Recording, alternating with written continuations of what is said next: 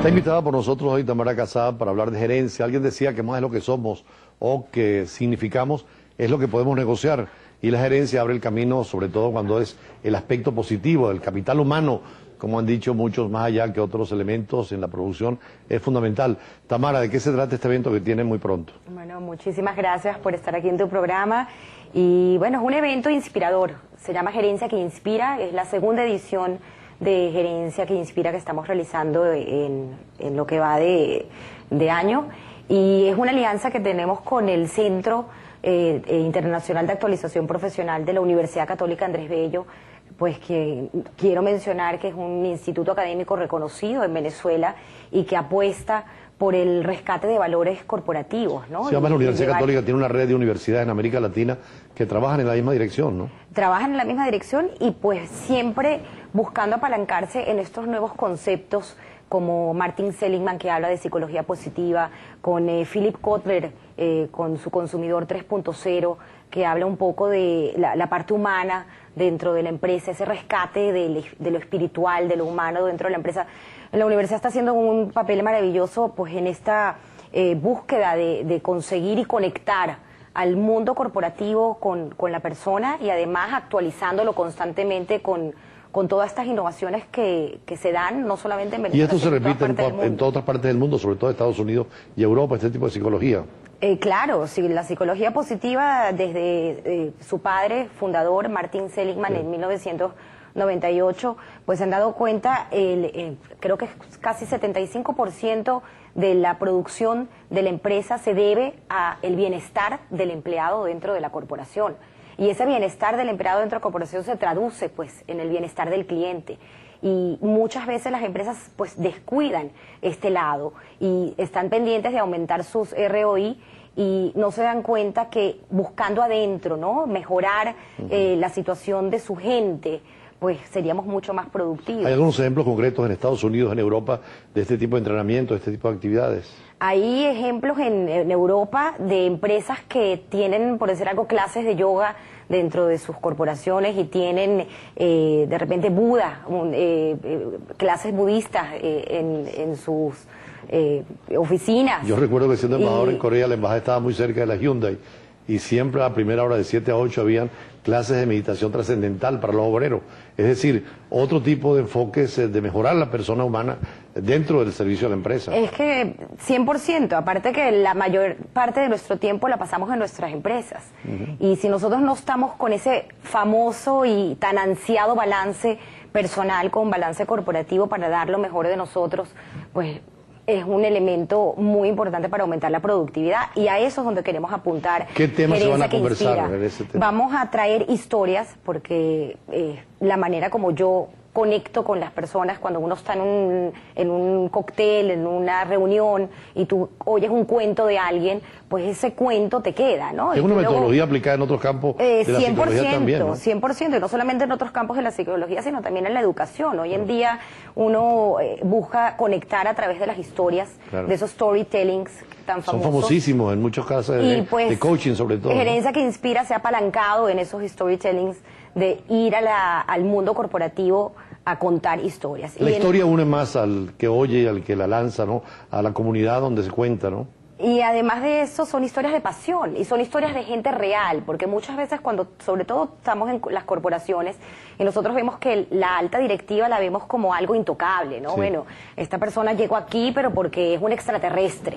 Y no, todo lo contrario, la gente de éxito, la gente que está arriba, la gente que nos que lidera posiciones, hablamos mucho de liderazgo, son gente como uno. Y entonces el poder escuchar esas historias y de repente conectar con que yo soy igual y que yo también me pasa lo mismo y que yo también a veces me tropiezo, me caigo y tengo herramientas para levantarme cuando tengo un objetivo claro. Eso pues, imagínate lo, la, importancia que daría. A nivel de cualquier conferencia, cualquier clase del storytelling es fundamental. Eh, yo creo que es el acercamiento más directo de poder entre quien la cuenta y quien la recibe, ¿no? Ah, así es. Y bueno, Gerencia que Inspira traerá pues historias de, de gente que su pasión la ha llevado al éxito y eh, estará con nosotros Sumito Esteves, eh, cocinero, pero no nos hablará hablar de cocina, no nos va a dar una receta ese día, aunque la receta que nos dará es, gerencial, ¿no? un poco su historia personal de cómo él consigue encontrarse en, siendo físico matemático, eh, lograr encontrar que, cocinero era lo que le gustaba hacer y lo que hizo él con la Aquí teníamos al embajador de, de Alemania hace poco y nos decía que él, para poder vivir, era diplomático su trabajo, pero que era músico realmente en la vida y en toda la oportunidad que pueda emplearse. Bueno, nosotros en una oportunidad tuvimos el mercadeo que inspira a Rodolfo Nolk, que es el que preside Red Nolk América, y pues también él tenía una historia fabulosa donde él encontró que tenía un eh, primo, eh, perdón, un tío abuelo en Alemania que fue compositor. Y él fue a Alemania, rescató todas esas partituras y las trajo y hoy en día creó una fundación y los tiene, entregó pues esas partituras al Sistema Nacional de Orquesta. ¿Qué otras personalidades van a estar eh, contando Vamos a tener con nosotros a Daniela Cosán, también una persona que, conocida por su belleza a nivel internacional pero Daniela es mucho más que eso. Y precisamente su, su, tema se llama Personal Branding, eh, Daniela Cosas más allá de la belleza. Y es un poco esa historia de, emprendedor, esa historia de, de, bueno, ok, ya yo logré esto, pero yo quiero entregarle también algo más a mi país. Eh, mucho hablamos de agradecimiento y pues Daniela tiene mucho que agradecerle eh, a su historia y a su país y su manera de, demostrarlo es haciendo algo más por él. ¿Qué otros personajes van a estar? Alberto Camardiel nos estará acompañando, él es eh, conocido maratonista. Eh, creo que el maratón tiene muchísimo que aportar a la gerencia porque cuando uno corre un maratón, todo lo que vive para uno poder llegar a esa meta, pues uno lo vive cuando hace un proyecto en una oficina. Y son valores. ¿Ningún futbolista tiene? Todos, todos. No, ningún futbolista tienes. Esta vez el no. fútbol es muy Esta vez no. En Gerencia que Inspira, en la primera edición, tuvimos a un futbolista que fue maravilloso porque además él hizo un eh, em, ejemplo con, con pelota en pie y, de dominio de balón y pues eh, a veces muchas veces tenemos que dominar nosotros el balón en las oficinas todos los días. Además aceptar las reglas cuando son buenos los árbitros y las reglas del juego como y después del combate darse la mano y abrazarse que es lo que debe al fin y al cabo son muchos elementos. Está bien.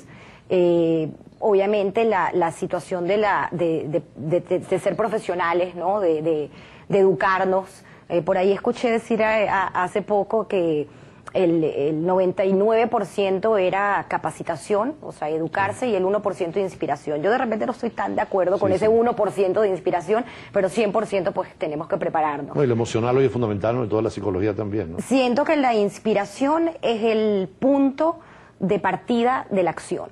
Ahora, ¿cómo se inspiraron ustedes precisamente para hacer este tipo de eventos en una Venezuela tan conflictiva, tan polarizada? Eh, yo tengo una historia muy particular que la puedo compartir contigo, que es eh, el agradecimiento que tengo por mi padre que llegó a Venezuela como inmigrante, Además, sin nada. sangre iraní, ¿no? Eh, sangre iraní e iraquí. E iraquí, imagínate. Y mi padre, desde que yo era pequeña, me decía, yo estoy venezolano. Y yo me burlaba de él, porque le decía, ¿cómo tú me puedes decir a mí que tú eres venezolano si ni siquiera hablas bien el español?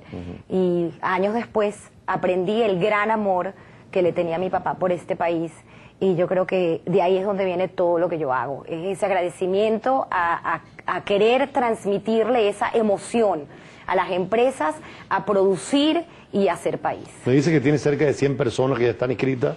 ¿Hasta cuánto Tenemos un cupo de 150 personas, podemos llegar un poquito más, pero ya tenemos 100 inscritos y bueno, lo que queremos es llenar el evento, así que los invito a todos a acompañarnos ese día, ¿Dónde a contagiarnos con, eh, con esa energía de inspirarnos ¿Dónde pueden para dirigirse país. A, hacer eh, contacto? En la página de la universidad es eh, www.ciap.com.be, igual creo que las coordenadas las van a poner en, en las pantallas. Y tenemos un Twitter que es arroba ciap slash abajo UCAP y el eh, arroba make it happen con dos P V E. Ahora, ¿qué seguimiento se le puede hacer después a un evento de este tipo? el seguimiento es inmediato. O sea, nosotros el día siguiente del evento, eh, todas estas personas que asistan tienen que llegar con ideas innovadoras dentro de la empresa, con hacer, con eh, tener un compromiso social, un compromiso de rescate de valores. Yo creo mucho en, en que la empresa y el mundo corporativo es la continuidad de la educación y tiene ese rol, así como las universidades lo tienen en su momento y así como los hogares los padres tenemos la misión de educar, los- lo- las empresas tienen esa misión. Ahora las empresas estarán suficientemente preparadas para este tipo de nueva visión del empresario, además del compromiso social también que deben tener, ¿no? Es que no sé, por, por eso es que se llama gerencia que inspira, porque necesitas de repente esa historia del que está al lado tuyo, que te cuente algo que hizo, que tú digas, wow, yo necesito hacer esto, yo, yo necesito hacer este cambio y aparte que vamos a dar ese día números, estadísticas. El lugar es siempre el CIAP allí en la Castellana. En la ¿no? Castellana no nos tenemos que ir hasta Montalbán, gracias a Dios la Universidad Católica también tiene su sede en, en Caracas, más cerca en, en el centro eh, de, de Altamira, lo la repite la referencia para quien tenga interés, se comunique Es, con ustedes. bueno, eh, cerca del Centro Comercial San Ignacio, eh, el centro se llama CIAP y pueden estacionarse en el centro Muy comercial fácil, sí, o sí. pueden llegar en metro, las vías de acceso son muy fáciles. La fecha, El 20 de junio es un jueves, entonces. es un evento de 8 a 4 de la tarde donde tenemos, eh, tendremos seis ponentes y bueno, cosas maravillosas que pueden pasar ese día y segurísima de que tendremos herramientas al día siguiente inmediato para incorporarlas en nuestras empresas. Bueno, muchísimas gracias a Tamara Casab por Gracias a este ti. evento tan importante. Ya es la segunda vez que hablamos de este tema acá en Globovisión. Y amén, van a ver más. Y claro, seguirán haciéndolo en el futuro. Además, esto es muy común en otros países, sobre todo en grandes eh, desarrollos económicos. Brasil tiene muchísimos de estos ejemplos. Francia he visto también que le dedica mucho a esta labor de la empresa. Y eh, dentro de ese criterio, pues nosotros vamos a estar muy pendientes de lo que va a pasar. ¿Algún mensaje final? Eh, sí, por favor, yo invito al mundo corporativo a, a levantarse, a construir, a hacer y a producir y Venezuela todavía queda para rato. Bueno, nosotros vamos a ir al corte con la nota sobre el estado de salud de Mandela, despidiendo a Tamara Kassab de nuevo. Recordemos que es el líder más importante del África subsahariana, ha hecho de Sudáfrica una gran potencia, un hombre amado por su pueblo, no quiso quedarse en el poder, sino lo necesario para organizar el país. Y lo están siguiendo de cerca muchísimas almas, rezando por él en todo el mundo.